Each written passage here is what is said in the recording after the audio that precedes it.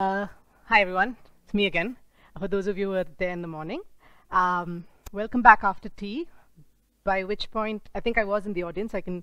I know there's a point at which your absorption capacity just kind of dies at the end of the day. So it's really nice of HasGeek to give us this slot. Um, however, I suppose uh, it's also a good time to be here because I think we've talked a lot around uh, data security and business models also of various uh, providers like PayU and so on. And um, you know, the great thing about Dilbert is sometimes they have these great moments of of kind of poignant reflection when they're saying something quite funny, which is that, you know, we're all just a monetizable asset these days. And the best way to dehumanize each and every one of us in the room is just call us data, uh, which is what we're doing. And my talk here is to kind of refocus that data conversation on what each data point really is, which is someone like you and me sitting in this room making a digital payment. Um, and I suppose if we go back to where we started, and I should mention, I'll reintroduce myself. My name is Malavika Raghavan. I'm project head of the Future of Finance Initiative, which is looking at policy and strategy to support customers as we see this large-scale change in retail finance uh, that's happening because of digitization. And, you know, about three or four years ago, um, this is how we were making payments. You and I would go into the bazaar, give 100 rupees, buy some fruit. Um, now, obviously, there's inflation as well, so you probably pay a bit more, uh, but demonetization's helped that it's also done this, right? We have all of these different ways in which we are interacting with money and we're paying for goods and services. And why does why is this picture different from that picture really? Because at the end of the day, it's just two people transacting, right? But what really sets it apart is that every digital payment creates a data trail, right? you and I are creating this entire map of how our behaviors, our financial behaviors, our kind of needs and preferences, which are being collected by various um, entities across the chain of payments. And I guess what we're trying to see here is what does that mean for each customer? So if I just walk you through a standard customer journey, uh, we've looked at stuff today quite a bit from the provider side, um, and I suppose tomorrow it'll be a bit more technical as well. But from the customer perspective, so we step away from wallet slash provider mindset into you and me sitting in front of a computer trying to make a payment, what happens, right? First, you go hit a merchant site. That merchant site collects some information from you, right? Um, that, or then you are then passed on to some kind of a gateway product, say a PayPal, right? Who collects each and your bank account information, your card information, all sorts of things, you know, address, email, mobile, gender sometimes. Or it's some kind of wallet provider like Paytm, so they hold the data, and then you're passed on to the entire payment processing infrastructure. And so this is the great and wonderful complex world of payments themselves. There are multiple bodies involved. There are credit card providers and networks in the middle. You have issuing banks, authorizing banks, agents all over the place, payment systems, clearing houses, settlement systems, all of these different things which are using your data in order to settle that payment. To an extent, we had it for checks as well, obviously, which is kind of the the avenue that we use between cash and digital. But of course, digital just ensures that you have this data trail, which is starting off with you, just flowing through this entire ecosystem and being kind of traded and packaged up with other customer data to make these aggregate sets. And then you have all these philosophical questions about like, at what point is it your data? At what point is it proprietary data? Which algorithm mined what to make what, and so on and so forth. So I'm not going to get into any of that because, you know, philosophy is not great for five o'clock. However, I think this is why we should care right? You're sitting in front of your computer, and these are like three risks. There are more, but I think these are the most significant ones. From a customer perspective, we think affect you legally and also affects you in, in you know, just financially. So what's the big one? The big one is privacy. Uh, I'm going to set the stage for privacy, and then Rahul Matthan is going to come and like talk about some issues around that. Uh, then financial risk, because obviously if your data is compromised, the exact fallout of that is that your the money in your bank account can also be compromised. And then there's this entire question of exclusion risk, which I'll come to, but it's just that when you have all these payment channels available, are you kind of focusing on one end of the market? And is that a good thing or a bad thing? Um, so to start off with privacy risk, right? Um, rather than get into kind of the letter of the law and also how we conceptualize these things, I thought looking at a couple of symptoms of privacy risks really makes it real for everybody. So identity theft is, I think, something that came up in the PayU presentation the fact of the matter is somebody using your personal information to impersonate you. Yeah. And in the financial context, what this means is that they can go and have access to your bank account. They could be making payments, uh, collecting uh, welfare payments on your behalf, and so on and so forth. And obviously, two-factor authentication has helped that to some extent. But it doesn't really solve some of those payment systems that you don't use two-factor authentication or you know a large mass of our population who actually receive benefit transfers into their account. So there are a lot of reasons why identity theft is you know something significant. Currently, we do have something in the in the law in the Information Technology Act, which I'll be referencing later as well, which punishes it. But as we will also talk about, and I mentioned uh, briefly in the morning, it's you know it's quite a weak um, kind of structure for enforcement. Um, the other one, which is I think the big one, uh, also is this whole question of profiling and discrimination. So you have all this sensitive personal information about yourself, right? Um, apart from the fact your gender and whatever else is collected, it could also be the transactions that you're doing. And as a payment system, what you are is really you're a gateway to other things, right? I mean, there is the transaction in itself, but you're also gateway to other things like, you know, credit, like other kinds of financial products and sort of physical products.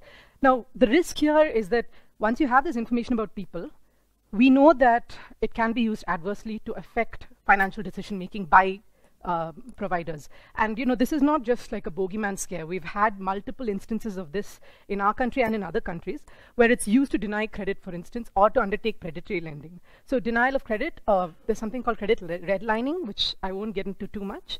But the US has specific laws against this, as do some other jurisdictions, because we know for a fact that people who live in a particular area, if they're of the same community, uh, credit is just denied because it might be for reasons of religion or race or education levels, income levels, and so on. And the fact of the matter is, we know that this happens. How much is technology going to amplify that? Because you're basically sitting on all this data. But that's just kind of one point to flag. So if these are the risks, what does the law say about them? Uh, the main law that I want to talk about is the Information Technology Act of 2000, it was an interesting legislation because it came up in the background of all this outsourcing that was happening to India. And essentially, you had all these large companies you know, dealing with these data sets from all over the world with no framework, right? Like, think about it. 2000 is when we passed this law to deal with data protection in India. Um, and so, therefore, it's only uh, reasonable for us to think that, you know, it was put together and it did do some level of thinking. We have this category that I want to talk about. It it does set up a wider, you know, it deals with lots of things, but the thing that's relevant for our purposes is that it says when you collect sensitive personal data or information, which we call as SPDI because we like acronyms in the legal world, um, which is any of these things. So your password, your financial uh, information, which is bank accounts, and I'll come to like a little gap there, health, you know, mental health, uh, sexual orientation, medical records, biometrics, very relevant for India Stack and Aadhaar. When an Indian entity which is doing commercial business here collects any of this stuff, they should be telling you that they're collecting it. They should be using it for X, Y, and Z purpose only. They should then be telling you who they are passing it on to. And then finally, they should be saying any, if you ask for it, you should be given you know, details of entities handling this SPDI. Um, and of course, apart from this, I should also mention uh, there are a lot of regulator codes. I think at last count, some of the work that we've been doing at FFI, I think there are about 17 SEBI codes, uh, the securities regulators codes that set out um, regulation for particular institutions that they, uh, you know, look have oversight over. The RBI has about eight codes for different types of institutions that it regulates, which also says that for confidential information, you should have this kind of data protection rules. Now, a couple of things here, right? First of all, they don't really reference the standard under the IT Act. They use a subjective standard. They have some kind of uniformity amongst themselves. They talk about adequate protection. But as you see, it's like a subjective standard. So as a company, if you're a bank, say, you have confidentiality obligations under RBI circular, and then you just say you should have adequate, um, adequate protection for sensitive data or whatever data. So that's kind of the picture it's great that in, fa in, in, fact we do have something that talks about purpose limitation, collection limitation, and so on.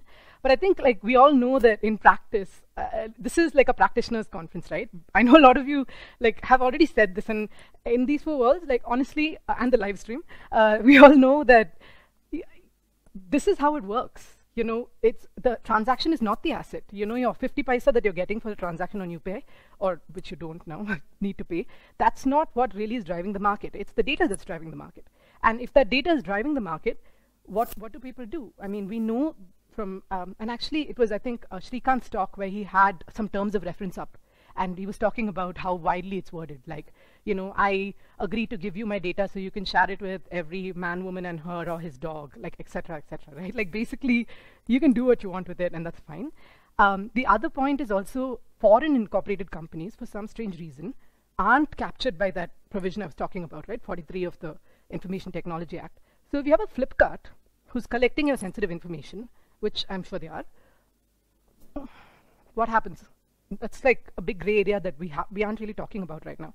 And there are, uh, you know, another thing is like, for instance, transaction records. Like I won't go into all of these points, but just some things to flag to you. Like transaction records, we know that financial information, so your bank account details are sensitive information, but we don't know that your transaction records are. Again, you know, that's where all of this credit profiling and assessment and all the algorithms to deal with that are looking at. So there are some gaps, is my headline from this section. Uh, quickly, I'll move on to financial risk. Um, again, fraudulent transactions, something we've talked about already. Uh, I guess the uh, you know the big point here is, as the law currently stands, the bank is or does not have automatic liability for a fraudulent transaction. You have to go through the redressal system, and if you, after 16 years, get a decision. No, sorry, I shouldn't slag off the ombudsman. They are they are quite good. If you do get a decision, it's only at that point you're back in the money. And even for a payment system, it's only to return the money at the earliest. Uh, the great thing is that the RBI does have some guidelines out, which have been released in draft, limiting customer liability for unauthorized transactions. And they say if you report the transaction within five days, the bank should bear the loss. And five to seven days, you bear some of the loss. And then after seven days, it's your problem kind of thing. I mean, obviously, we can go into details of that, but the, the headline is there's something in the works. But right today, if you have fraud, best of luck. Um, the, on the failed transaction bit as well, same, no automatic liability, and then I've kind of referenced that law right now there. Uh, moving on to exclusion risk. So this is one that I think maybe um, surprised we haven't really discussed. It may just be that it's because um, this part of the market isn't really the market that people are chasing right now. So uh, if you are trying to make digital payments ubiquitous, what happens when certain groups just don't use digital payments? What happens if your standard tool of education and awareness doesn't work, right? I mean, what if you have aged parents or aged grandparents and they aren't just that great with digital channels? What happens then? What happens to disabled people or poor people who cannot access uh, payment channels, right? Um, and I think the gender bias point is an interesting one because if you look at cell phone ownership, I'm sure a lot of you know this stat already. Only 20% of the women in this country own a cell phone, right? And uh, even if 70% of them use it, they're relying on the man in their family to, to kind of do the payment for them how does this affect privacy, right? I mean, I think these are questions that we should be trying to think about if we want to make uh, technology that works not just for this top segment of society, but actually for all of us. Because in the end, I don't, yeah, I don't think that there's this efficiency versus kind of fairness point. Doesn't really work. You should build a model that works for everyone, and, and I think the pie is big enough for that as well. Um, and then the second one is less to do with the subject, you know, subjective situation of a person. Like we live in a country where the ICT index, I mean, for Digital India, that is that is a stat from 2016. We are 138 from 175 countries in terms of access to digital infrastructure, right? And this includes uh, in, like electricity. I haven't put down like the electricity shutdowns, but we've all been there, right? And the entire northern grid went down two or three years ago. Um, mobile and internet shutdowns are now uh, reality. Like in 20, 2016, I think the first six months, there's a CCG report on this, there were 22 shutdowns. What happens in that situation? Like Manipur, right? If you were all following the news, demonetization happened, mobile shutdown happened. I was in Chennai when Cyclone Varda happened, for instance. And there was just no money. Like people had their houses. I mean, in my house, I live in a flat in central Chennai and we almost lost our windows. Think about all the kind of huts and stuff like that. You need a large pile of cash to rebuild that stuff what happens when your LXD isn't there. So that's kind of just the broad points. I'll stop banging on about it.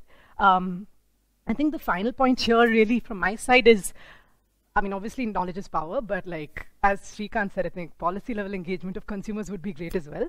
I think it's important to think about these kind of issues, which anybody you ask anybody on the road, they will tell you, right? Like as I, I think, I don't know if you know about um, IFMR Trust's work, but we do work, we do have a small NBFC that does wealth management for underserved people.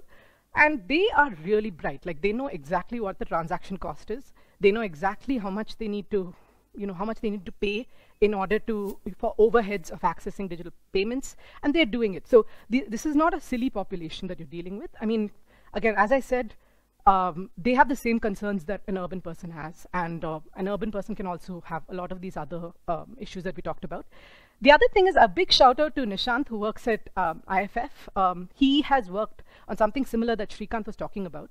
So if you look at about 1,000 payment apps on the Google Play Store, we've done some initial analysis which says that about 86 unique permissions are asked for. So I've, I've not listed some of the permissions because they kind of, they're funnier in conversation. Um, uh, but, you know, it's 2 to 34 per, uh, permissions on, in, in, on the standard app um, like about 11 across if you take, you know, the one that asks for the most, kind of a median. Um, and it's interesting, I think the Bank of India app only uh, asks for two permissions. I think I mentioned this earlier. And it, it seems to do the same thing that the Bank of Baroda app does, for instance, which asks for something like 36 or more. So the question, I think, as a consumer, you're really thinking, why? Like, why do you need to, uh, you know, why do you need to control the volume on my phone, for instance? Which is, you know, I, I don't get it, but maybe it's just somebody has been filling the form on Google App Store. Um, yeah, there's some code that's from Nishant's uh, GitHub in case you guys want to look it up since you're a tech conference. Uh, so that's kind of it. I just thought it'd be cool to play a little video for you guys, again, just as a little treat because it's 5 o'clock. Um, just give me one second. Uh, yeah, sure. Do I have to play the volume on my... Oh, I never thought about that will it, okay, I'll try this. I mean, if it doesn't work, that's fine. Like, um, let me see. We'll try it, and if it doesn't work, too bad.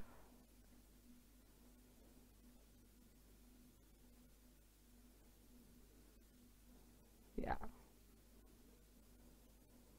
Ah! Stop. I don't actually think it's playing on mine as well. Yeah, I mean, we'll just try for a couple of minutes. Otherwise, I'll just send you the link and, or post it on something. Uh, uh, uh. Or we can do it after afterwards as well, after I was done. I mean, it's an interesting video. Like, it's, it's a bit silly, but it's good fun. Okay, uh, in the meantime, if any of you have clarifications or any doubts on what uh, Malvika has uh, just spoken about, we can take the next two, three minutes and have a few questions possibly before I call upon Rahul to speak. Yeah. Um, so, can you just, here, here, here. Sandhya? Oh, no, okay. Okay. I got Hi. it. Oh, one, one second, one second, sorry. Person there. Yeah, I I don't know if it's silly. Maybe Malvika can guide us. You know, what what sh- what steps should a person take if they find themselves in a situation like if their UPI ID is misused, their phone has been mistaken, and for some while and they got misused. What are the? I mean, I'm a knowledgeable person. Maybe I can Google and find out what are the right steps. Mm-hmm. But even for me to Google is some time. Maybe there is a there is a direct government provided guideline which I don't know. Um, so, I mean, I, I last I checked, there was some Niti Aayog, uh, like a pamphlet that looked at different types of digital payments. But, I mean, off the top of my head, uh, I would say you're probably, and Rahul, please correct me, or Alok, whoever's kind of looked at the legal side of this thing. I would say if you are actually with a bank, a bank issued instrument like a debit card or something, you're probably better off because the bank will have a redressal system and you can go to them. They'll put you through the ombudsman if their redressal doesn't work out, and ultimately you can reach some court somewhere. You could go to the Consumer Protection Forum, but that's like, uh, again, hit or miss. I'm not really sure about UPI, to be honest, because I feel like a lot of the wallet providers have their own dispute redressal. So far, it hasn't been, anecdotally, what I understand, a problem because they are in market capture mode. So the minute you dispute a payment, it's just put into your, you know, it's kind of like Uber. The question is really when that market matures, what happens, right? And right now, there isn't, it isn't clear to me, especially on a mobile because there, uh, yeah, I mean, you have guidelines under the RBI's kind of PPI legislation. But as we've been talking about, there are lots of entities in the gray area. And if you have to go to try, I really don't, I don't know what would exist there.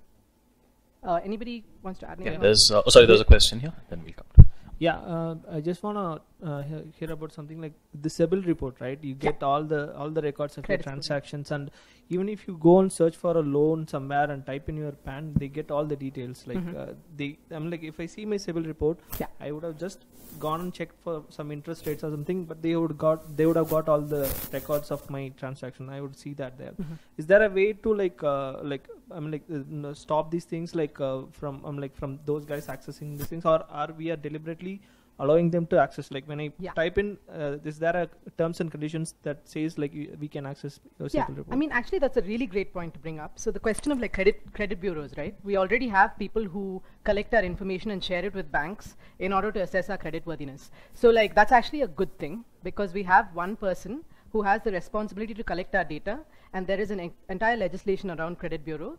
Uh, so it's fully regulated space, and you have to adhere to. We actually think it's like a good model for data protection because they have to do certain things in terms of keeping your data safe, who they disclose it to, how, and all that. Um, and the other thing to note is I don't think it's all your transactions. I think it's anything connected to a loan or a credit card only. So if you're doing something else, I don't think it should show up on your credit record. The fact, the the the tough part of this is actually people who are operating like credit bureaus but who aren't in credit bureaus, right?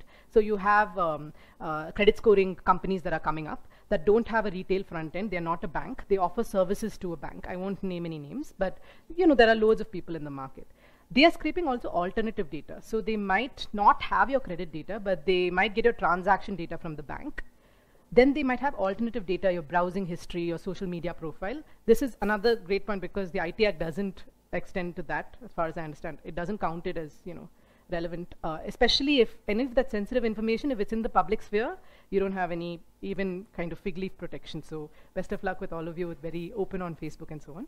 Um, yeah, so what happens when you triangulate say a piece of information from your shopping record with your banking record with uh, your alternative data with your social media we don't know. I can give you a kind of a, if this thing is working i think this might be better at answering the question. Uh, let's see if it does. Can you hear anything? I feel like there has to be some noise. Yeah, yeah, yeah. Yeah, it's coming.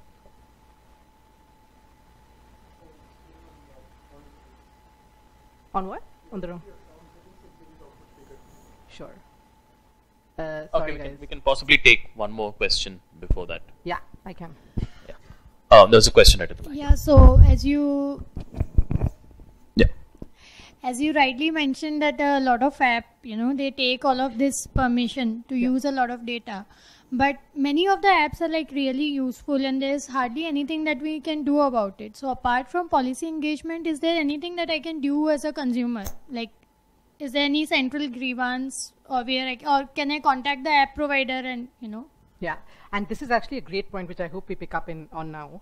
I mean, one of the bigger questions that underlying all of this. Uh, I mean, the short answer is unfortunately the way things are set up right now. Uh, I would actually argue that some kinds of contracts wouldn't stand up in court because they basically you could argue like duress or. You know, I don't know how meaningful that consent is anyway, but that's a different matter. I don't think you want to be filing a writ petition in the High Court or whatever.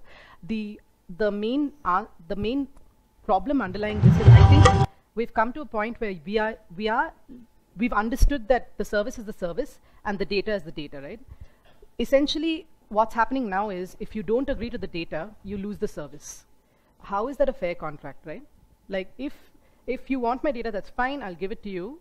I think we've moved past the point where we're thinking about data as a fee in the early days of Google. We did free stuff because we added, you know, data of ours in order to create this map together, and that was great.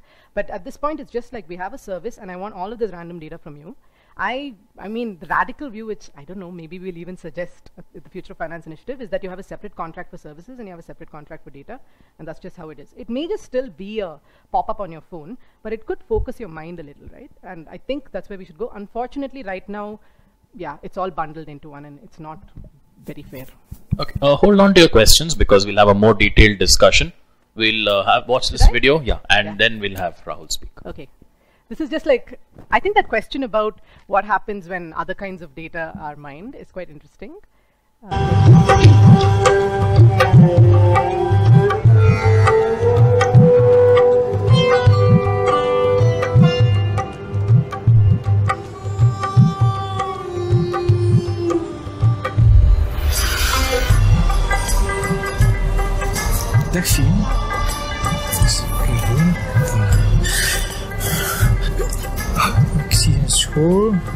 tegen Antwerpen. Ja, Insecten. alsjeblieft. Ik voel twee insecten op je, op je rug. Kan dat? Ja, vlinders. Slovenie, Slovenie. Zo hè. Eén moto. Oranje. Pats erop. Zenit. Oui, oui, bien. Je hebt een vriendin. eh, Julie de... Ja. Een boeiend liefdesleven. Drie, vier. hier. Rivierde daar zwijg ik meestal over, dus dat weten niet veel mensen. Hoe is je spierscheur?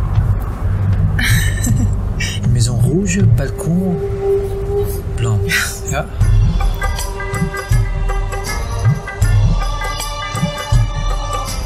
Ik zie geld, ik zie eh, transacties, maar kent je rekeningnummer van buiten?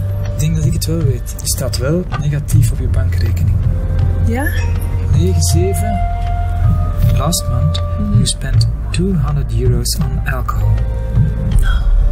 Vorige maand 300 euro aan kleding gespendeerd. 8. Ja. 5. Voor een huis dat van eigenaar gaat veranderen. 795.000 euro. Ja, eigenlijk. 41. Ja. Is dat juist? Ja, dat is juist.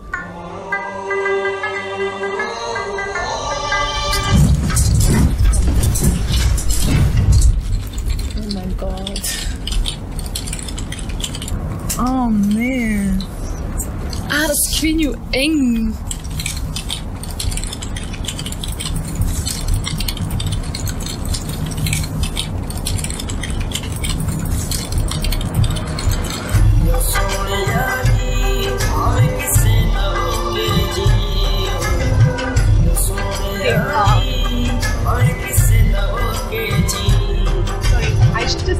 I'm not a Luddite. I mean, I don't think you should not like be online and we should just go back to carrier pigeons or whatever. It's just, it's just a funny video. So kind of, I'll end on that and kind of hand over to Rahul now.